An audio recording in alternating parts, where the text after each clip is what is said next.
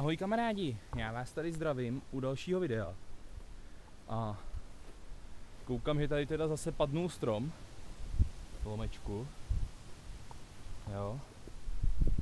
jo. Ale padnul teda solidní strom. A ten vítr není asi úplně prdel. Ale o tom dneska mluvit nechci. A já bych vám dneska chtěl ukázat uh, polní lopatku. A to polní lopatku teda americké armády, takže určitě všichni znáte takzvaný e-tool, psáno e pomlčka tool, nebo v britské angličtině i pomlčka tool. Jo, a je to teda takzvaný entrenching nebo intrenching tool, což vlastně prostě znamená jako zakopávací nástroj, nebo teda v našem českým tak polní nebo zákopová lopatka. A já si tady někam zalezu, aby tolik nefoukalo a abych vám ji mohl ukázat. Takže já jdu na nějaký vhodný místo a za chvilku si ji ukážeme.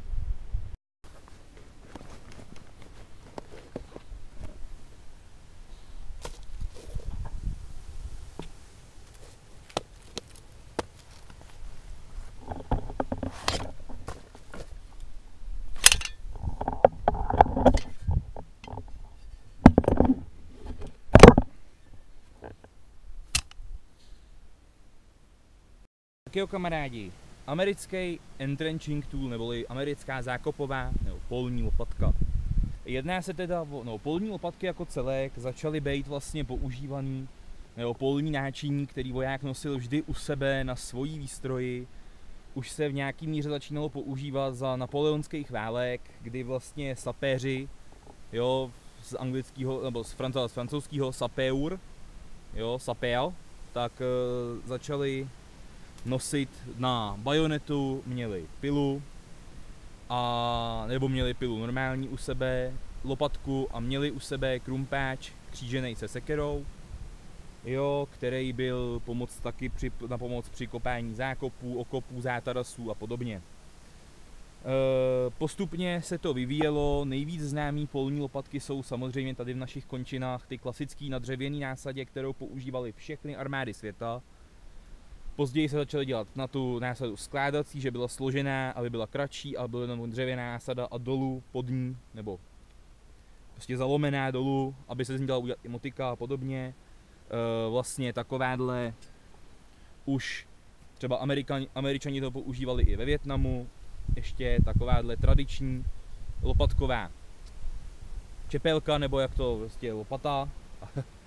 a potom teda samozřejmě se z toho postupně vyvinul tenhle ten e-tool, který vlastně používá aktuálně, nevím jak naše armáda, ale vím, že to používá Bundeswehr, používá to britská, holandská, francouzská, americká, asi dokonce i slovenskou už jsem viděl.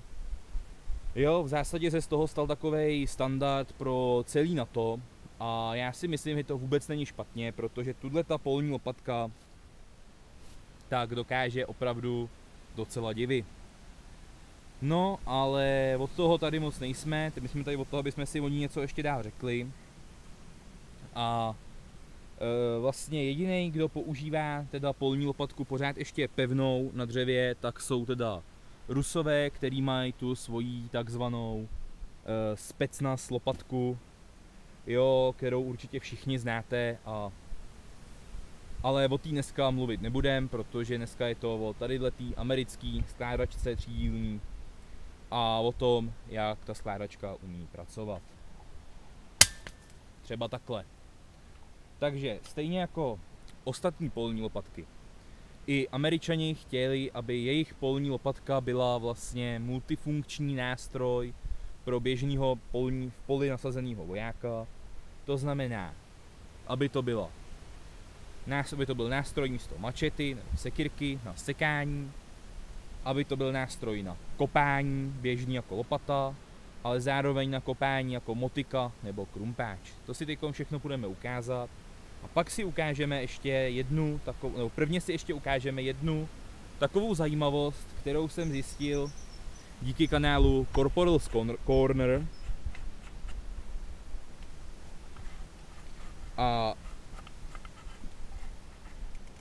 to je teda, když lopatku použijete v tomhletom nastavení jako teda motiku, tak ji můžete takhle postavit někam a je ideálně vysoká, abyste si na ní mohli sednout a on to tam nazýval, že to je steržantovo židle, nebo eh, no prostě důstojníkovo židle, tak, důstojníkovo židle. A já už jsem takhle, jak jste mohli vidět pár videích, na ní seděl a musím nechat, že je to fakt pecka, jo? Protože nesedíte na mokrý, na studený zemi, sedíte na lopatce vlastně jako na židli, když si strčíte pod zadek něco, co vám drobet to změkčí, drobet vyhřeje, vydržíte tam sedět dlouho a budete mít to sila, nebudete mít ani vlka, jo? Takže tak. Já teď jdu teda vám tady ukázat nějaké to kopání, to už bude bez zvuku. A pod videem vám hodím odkaz, kde jsem ji koupil a cenu. Takže jo, uvidíme se u dalšího videa, zatím ahoj a tak.